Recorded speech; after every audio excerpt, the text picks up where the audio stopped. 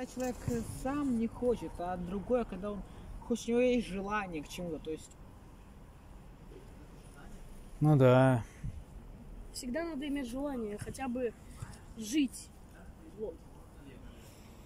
А в такой жизненной ситуации не всегда есть желание жить. Я уверен, вас могли настигать такие мысли, а к черту и в окно там. Да там просто депрессия настигает. Но я лечусь антидепрессантами и помогает. Хотя они имеют...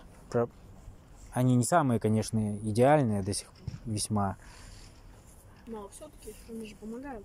Ну, хоть как-то. Ну.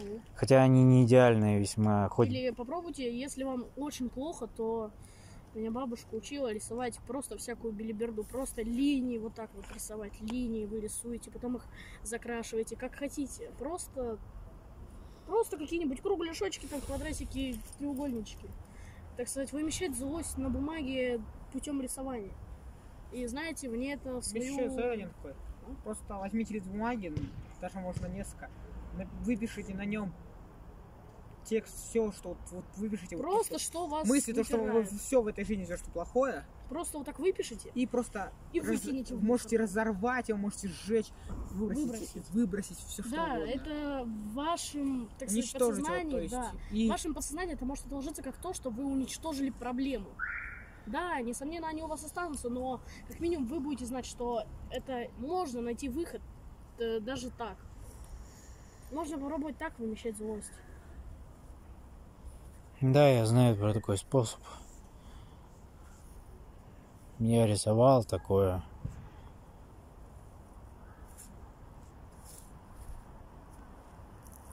Ну. Впрочем, надо сначала искать повод для того, чтобы радоваться. Повод может быть абсолютно любой. Солнышко выглянуло, там, не знаю, небо чистое или вы живете. Вот, это минимально. Вы должны радоваться всему. Не искать причин для грусти и депрессования. Тогда, несомненно, ваша депрессия может даже исчезнуть. Просто искать повод для радости. Да, надо искать. Как Ну да, я понял, в принципе. Правильно. Говорите все. И также продолжайте заниматься рисованием. Можете рисовать мемы, создать отдельную группу ВК и там их выкладывать. Знаете, это сейчас э, очень много денег приносит. Или можете рисовать, э, да, даже что больше денег, чтобы больше счастья, да, даже так, что вас смотрят. Вот э, сейчас довольно популярная тема рисовать какие-нибудь смешных животных, там, допустим, кошечек, и к ним смешные приписки. Тоже сейчас довольно популярно в том же ТикТоке. Перерисовывать мемы. Да. То есть вот как есть мемы. Ну или даже не перерисовывать, просто придумать своего, там, нарисовать какого-нибудь сонного котика и такой, к черту все, я хочу спать. Бананчики, Камару кошка есть такая в ТикТоке. Вот, можно, арбузики. вот, есть много поводов, что можно нарисовать. Те же самые смешные картинки. Я слушаю Эмма Кор с 2006 года. Сейчас никто его не слушает. Для меня это все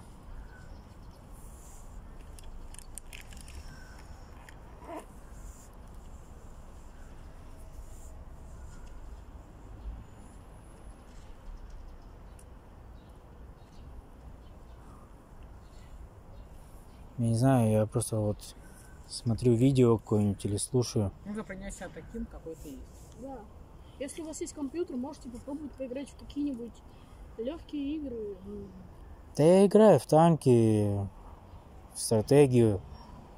Ну, может, не такие, может, какие-нибудь симуляторы. Или, знаете, такой есть канал Куплинов Play. Да, Вот, знаю. можете попробовать снимать let's play.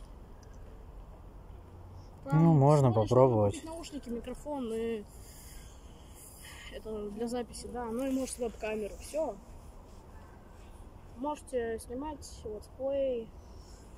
На этом тоже хорошо зарабатывать, только надо набрать аудиторию, а там уже все пойдет.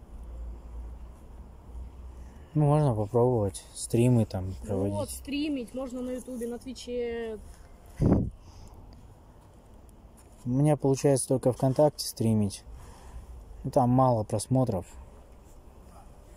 Попробуйте стримить на Твиче. Наверняка тоже найдутся какие-либо поклонники.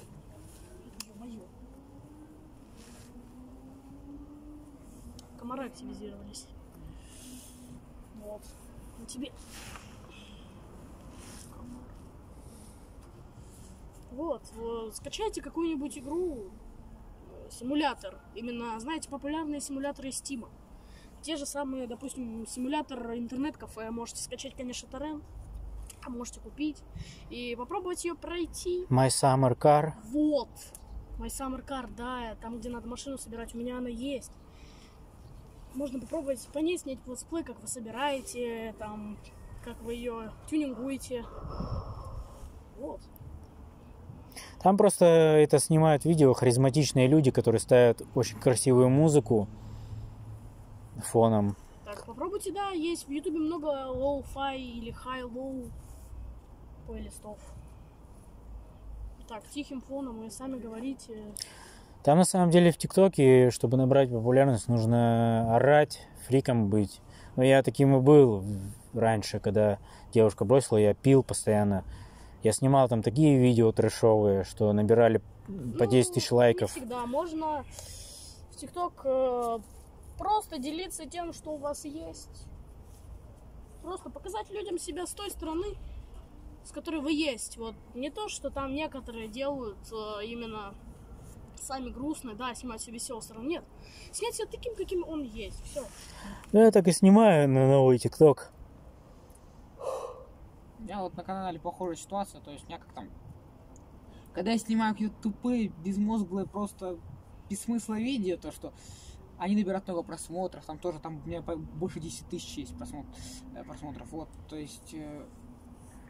А когда я Да. снимаю то, что мне нравится, это вообще почти не просмотр. Ну да. Но все-таки не обязательно быть фриком. Нужно Да. снимать контент такой некий для детей. Там, или что-то интересное. Либо что-то интересное, либо что-то для детей. Вот, только так.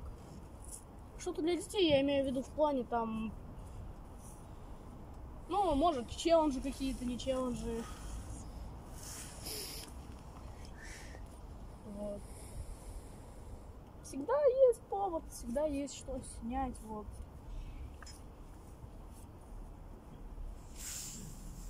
Да, мы еще, может, сообразим насчет этого как-нибудь. Да, что-нибудь надо попробовать снять. Или знаете, в ТикТоке есть такие немножечко тупые, конечно, видео, такие опросы, как подходят к людям и спрашивают там, допустим, сколько материков на Земле, вот. Вот подобное. Что-то знания проверяют.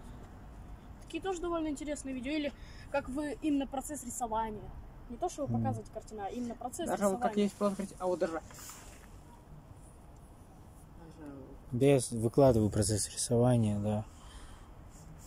Вот, в ТикТоке, кстати, интересно, э, берут видео, вот как, допустим, человек рисует или что-то готовит, сверху вставляет видео какого-нибудь известного человека, и просто вот на фоне вы что-то рисуете вот так, э, в ускоренном режиме, да, ускоряете видео, и там нарезаете вот так это видео готовое на несколько частей, вот так выкладываете в ТикТок. Ну да, я Потому что попробую. многим интересно наблюдать за тем, что человек делает, а не что видео. Потому что многие такие видео они уже видели. А так просто они смотрят, что вы делаете. Я обычно так делаю в ТикТоке. Мне попадались видео с готовкой, где на фоне какая-нибудь постирония голосом. И я обращаю внимание, там, человек ковер чистит или что-то готовит, рисует. Вот.